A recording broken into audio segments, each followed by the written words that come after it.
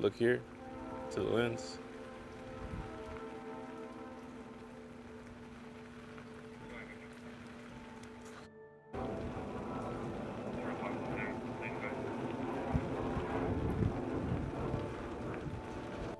Hi, my name is Miles Bailey. I'm a sergeant with the Richmond Police Department. I've been with the department for 12 years sworn, and prior to that, I was a police explorer and a police cadet, both for the Richmond Police Department. Uh, growing up in the city of Richmond, uh, I saw a lot of the effects of gun violence on our community, and what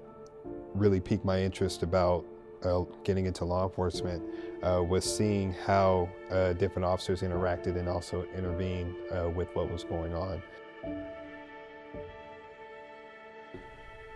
What Black History Month means to me is taking time out to honor our ancestors and the people who paved the way for us to get to the points that we're at as African Americans. Uh, most notably for me, my uncle, uh, retired California Highway Patrol Sergeant, uh, actually was one of the examples that I had seen uh, growing up, seeing pictures of him and, and knowing the uh, history that he had really drove me towards law enforcement. I uh, had another uncle who uh, was with the Santa Clara County Sheriff's Department, you know, who also uh, piqued my interest. And I remember one day he actually came to my house in full uniform and that was one of the defining moments that really showed me that I wanted to be a police officer.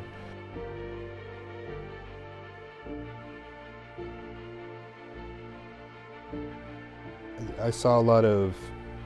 people or saw a lot of families who, you know, unfortunately had been victimized by mostly gun violence, but uh, as well as just uh, narcotics addiction and, and, different things like that. And seeing the effects and how things were affected so negatively, not only on the person who, you know, may have been victimized, but on the families and people close to them as well uh, it really it drove me to want to get into a position where I could intervene and try to, you know, make a change uh, with those at least couple of issues, if not, you know, something else more.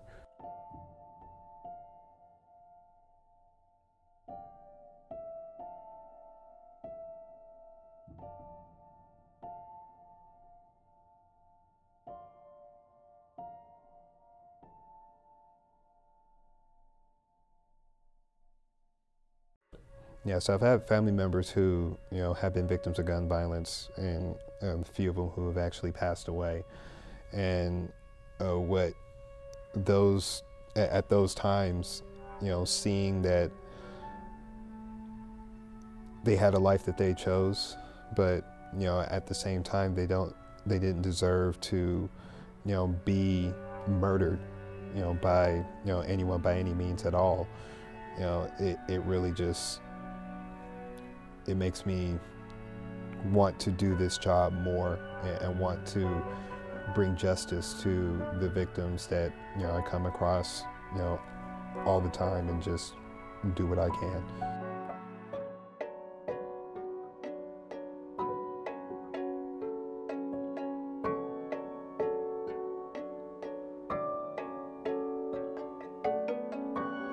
The, the community support that uh, we get as Richmond police officers is tremendous. Um, the, there's a lot of you know people who understand what we do. There's a lot of history, uh, you know, also to uh, the Richmond Police Department and you know the the citizen to the officer rela relationship. Um, the thing that is very unique about Richmond, and just I'm saying it from my perspective, is that we have those relationships, and they're pretty solid relationships. There's a lot of officers who, you know, know people, you know, by their first names. We're talking, you know, all the time to people. We're interacting, you know, just not on, not only on an enforcement front or when you call the police, but uh, when those times of where we're at festivals or we're just walking around in the community we're able to really, you know, strengthen those partnerships by actually having conversations, you know, outside of, you know, not having to, you know, take any sort of action. Well, I, I originally uh, grew up in North Richmond, uh, which is one of the you know, rougher areas of our city. You know, obviously there there was a lot of gun violence. There's a lot of, you know, I mean, people who are just trying to make ends meet and everything else that you know is in that community, and just growing up around that and having an understanding and you know really just a reverence for you know how you know life can go and how things can happen and, and how they impact you you know it was one of the way or one of the things that really just you know drove me towards wanting to get involved in making a difference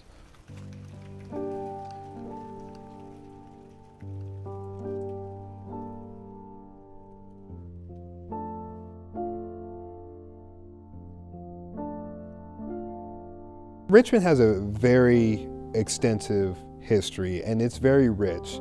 And if you really dig into it, you can see that, you know, a, a, lot of people who come from the city of Richmond,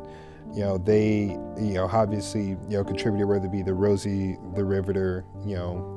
uh, at that time, uh, the shipyards building the ships, Chevron, um, you know, just as a, a few examples and, you know, people who've, you know, made an impact you know, within the city. And along with that, it, there's a lot of strong family ties that are, you know, here in the city of Richmond. There, there's a lot of people who, you know, are originally from here, born and raised, and, you know, there's a unique history that goes along with that and just, you know, interacting with, you know, citizens and everything else that has to be understood, you know, whether it be uh, positive interactions or maybe even negative interactions that, you know, they've had with law enforcement. Um, it's one of those things where you know you have to just understand that there is that history sometimes, even if there's you know someone who you know may you know come off as you know seeing maybe hesitant to actually uh, speak with us or to you know engage with us. You know, there's maybe a reason why, and I mean, it's on us to, you know, kind of figure that out and see what we can do, you know, if there's, you know, anything about actually, you know, breaking down that barrier.